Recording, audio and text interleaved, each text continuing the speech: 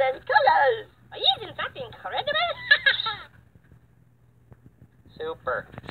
Okay, here goes. Uh, in the story of George Mueller, we learned that if we're doing what God asks us to do, He'll meet all our needs. Way to go. Well put. And in the story of Gideon,